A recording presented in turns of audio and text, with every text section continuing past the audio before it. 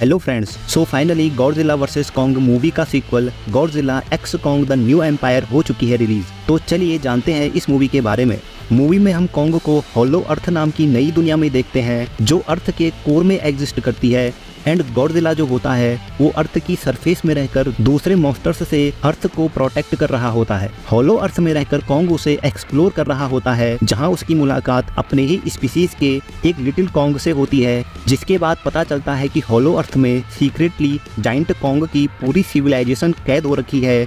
जिनका leader scar King अपनी army के साथ होलो अर्थ से निकलकर सरफेस वर्ल्ड को टेक ओवर करना चाहता है। अब कैसे कॉन्ग एंड गौरजिला दोनों मिलकर स्कार किंग और उसकी आर्मी का मुकाबला करके अर्थ एंड ह्यूमंस को बचाते हैं, ये इस मूवी का बेसिक सा प्लॉट है। भले ही मूवी की स्टोरी काफ़ी सिंपल है, मगर फिर भी ये मूवी टॉप नॉच वाले एक्शन कमाल के V F explosion entertainment and थोड़े बहुत इमोशंस से भी भरी है, जिसे देख के स्टोरी एंड लॉजिक जैसी चीज़ों पे जरा सा भी ध्यान नहीं जाता। और होलो अर्थ को जिस तरीके से विजुअलाइज किया गया है, जिस तरह से क्रीचर्स एंड मॉन्स्टर्स दिखाए गए हैं, वो भी काफ़ी स्टनिंग एंड अमेजिंग है। Mostly giant monsters and creatures की फाइटिंग इस मूवी फ्रेंचाइजी का सेलिंग पॉइंट है। लेकिन इस मूवी के क्लाइमैक्स में जो मॉन्स्टर ऑन मॉन्स्टर फाइट दिखाई गई है, वो एकदम एक्सट्रीम लेवल पे जा चुकी है, जो काफ़ी इंक्रेडिबल है।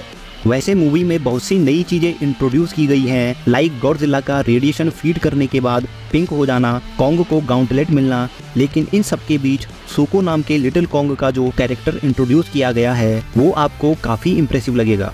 ओवरऑल कहें तो ये मूवी एक फन टू वॉच मूवी है। एंड अगर आपको मॉस्टर वर्स फ्रेंचाइजी की मूवी देखना पसंद है तो आपको ये मूवी मिस नहीं करनी चाहिए।